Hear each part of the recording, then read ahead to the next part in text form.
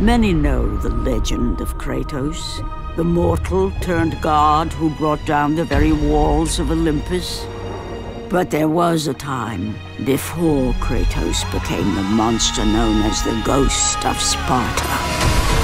A time when something other than rage consumed him. A time when, in spite of the madness that plagued him, Kratos would break his blood oath to an unjust god.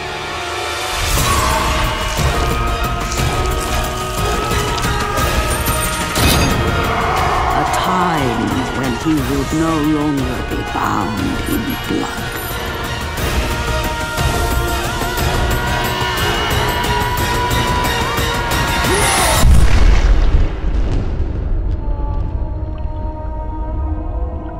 God of War, Ascension.